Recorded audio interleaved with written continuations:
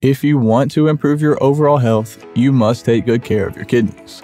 One simple but effective way to do so is to eat a diet with foods that support the urinary system. And that is the topic of this video. So, if you're ready, let's get into it. It goes without saying that the kidneys are one of the most essential organs in the human body.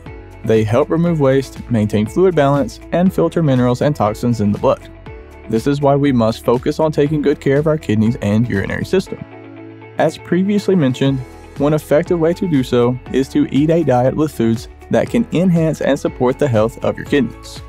First and foremost, you should know that a diet full of processed foods that are high in sodium is definitely not good for your kidneys. Instead, you can opt for fresh foods that are loaded with nutrients and antioxidants in order to give your kidneys a boost. You've most definitely heard the saying that an apple a day keeps the doctor away, right? Well, this includes the kidney doctor as well. Apples and other fruits are loaded with antioxidants, vitamin C, and fiber that have anti inflammatory properties, which provide some great benefits for your kidneys. Some other fresh vegetables that you can consider include kale, spinach, and sweet potatoes. Each of these superfoods contains vitamins and minerals that researchers found to be effective in providing your kidneys with a detoxifying boost. You can also consider adding more fish to your diet as well because fish is loaded with omega 3 fatty acids. This is important because studies found that they can significantly reduce the risk of end stage renal disease and delay its progression.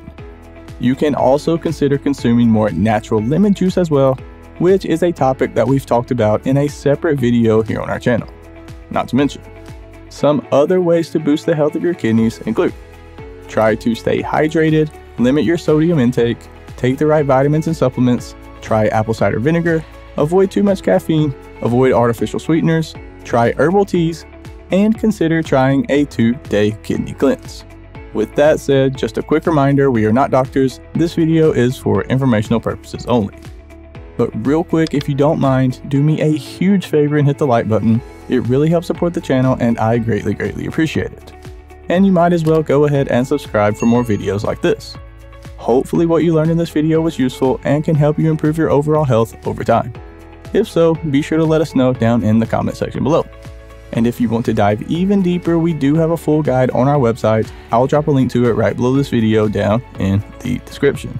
Thank you so much for watching all the way to the end. Have a blessed day, and as always, breathe easy, my friend.